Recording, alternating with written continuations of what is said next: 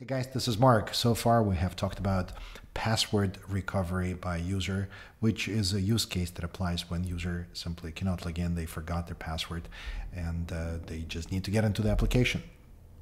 However, there is also a use case when they logged in and they just want to change the password once they are in the application. And typically this uh, Workflow includes uh, verification of their existing password just in case if someone got a hold of the device or is in front of their screen and that it's not password protected. You want to verify that whenever password is being changed, that the old password is still known and can be verified. So this is what we will be talking about in this video. And uh, uh, I titled, titled it Password Change API, but it also includes uh, a few additional APIs. One of them will be verifying existing password for uh, the currently logged in user. And the other API is updating the user. And they're all tightly related. Therefore, I thought that it would be better just to put it all together in one video to demonstrate the entire use case rather than splitting them up into individual videos and then where one would refer to another and uh, it would be harder to understand. So uh, the use case that we are reviewing is when user wants to change their password and they are logged in. So they supposedly still know their existing password. Password change would be a secure function, right? So we just do not want a public API where anybody can change password for uh, via the API. It needs to run securely in a controlled environment. And that controlled environment is Cloud Code.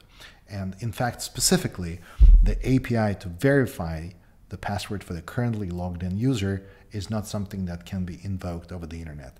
That API can be used only from within Cloud Code.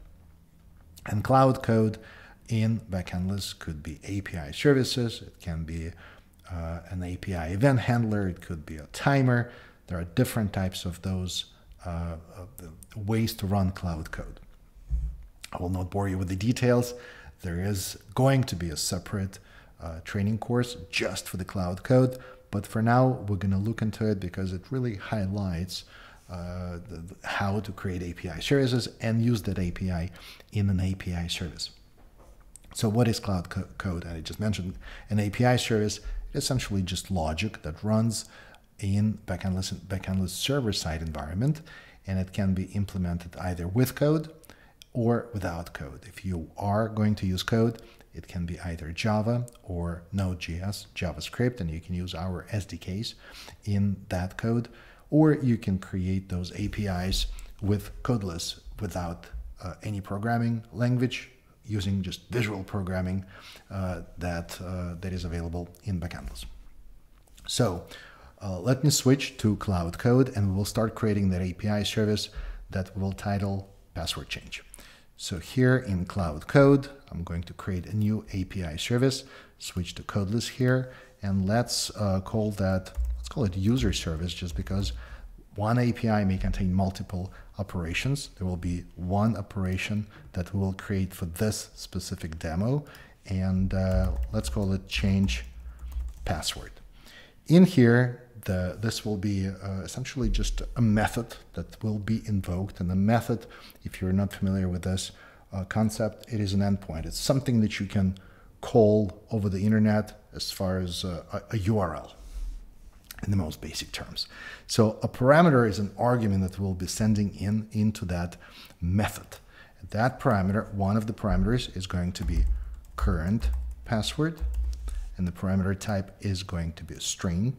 And the other parameter is going to be new password, which is also a string. And that method will be returning data back to us, which is going to be an updated uh, user object.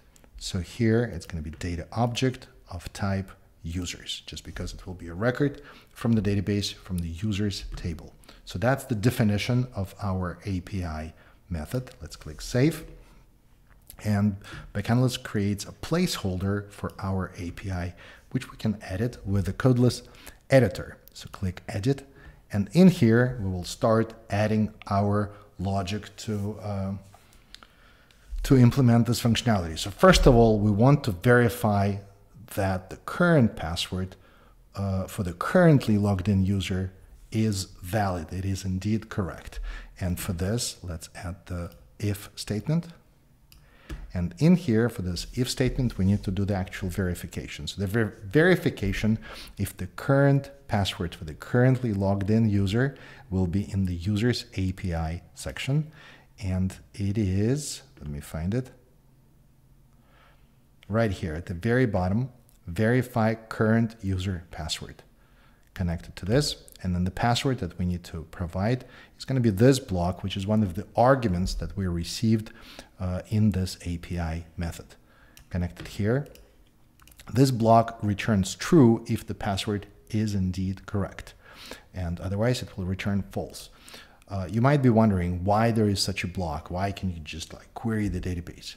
Well, for the reason that the passwords in backendless for the users are not stored in clear text. They are encrypted and they're salted. There is just all kinds of stuff happens where you cannot just see what the original password was. It has to go through encryption.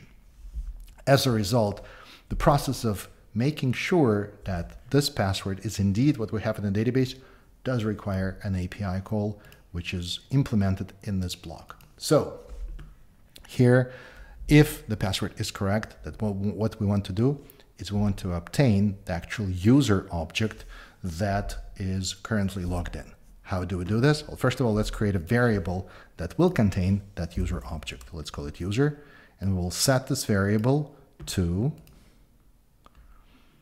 the following block, get current user.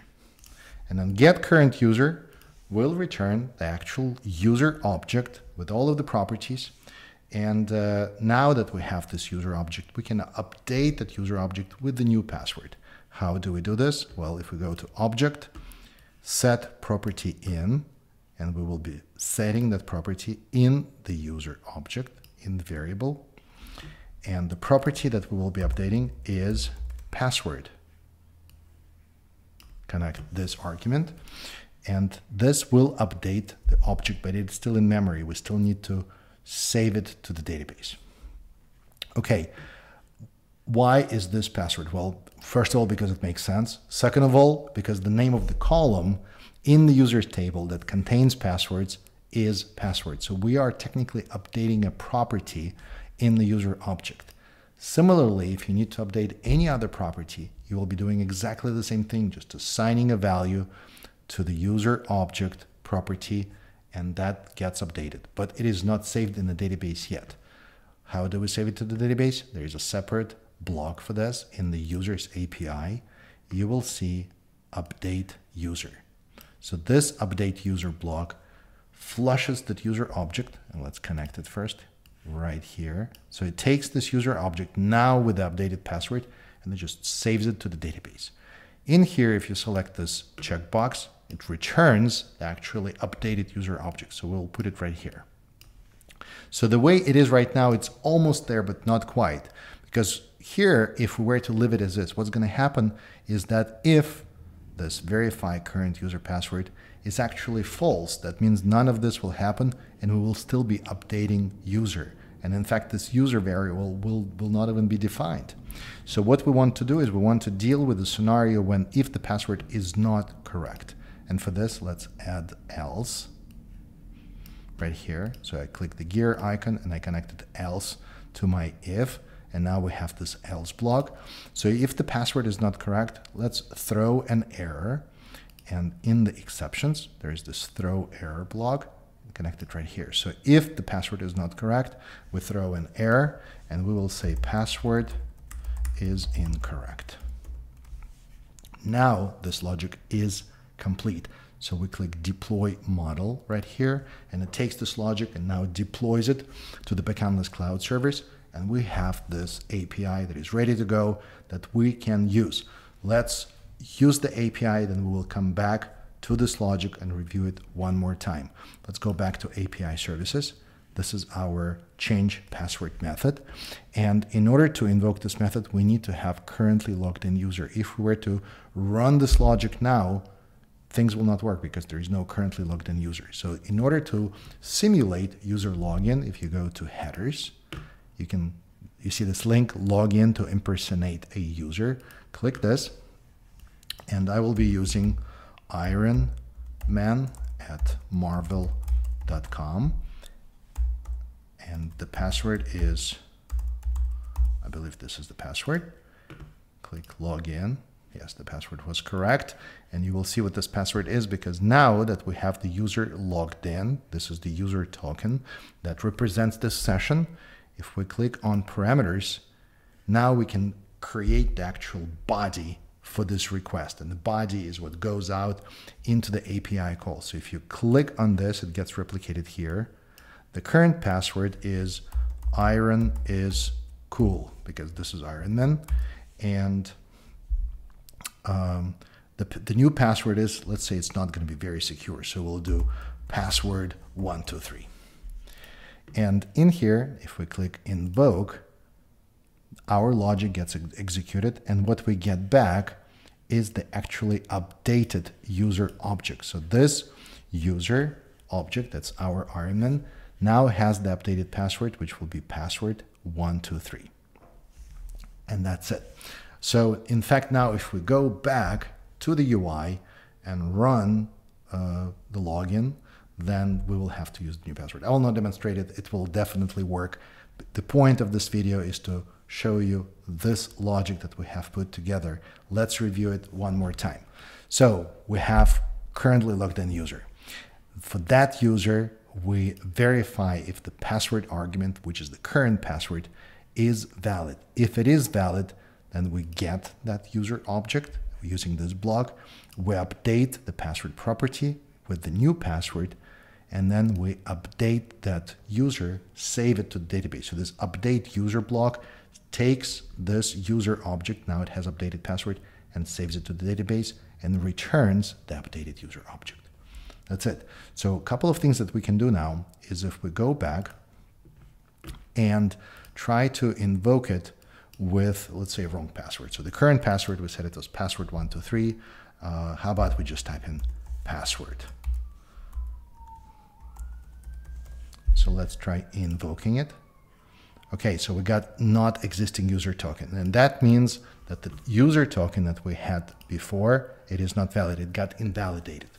And because it got invalidated, let's click log out and click login to impersonate user. Ironman at marvel.com, password 123. Click login. And in here, we're using wrong password. So let's invoke it.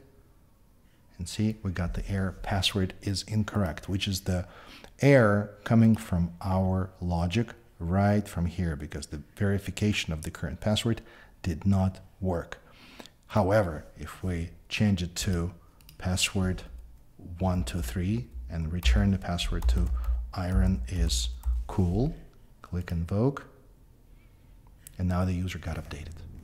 This is it. And uh, I know there are a lot of different little things, little APIs that I put it all together. However, this use case is fairly complete. And now you know how to update a password for the currently for a user who is logged in. Thank you for watching this video. And as always, happy codeless coding.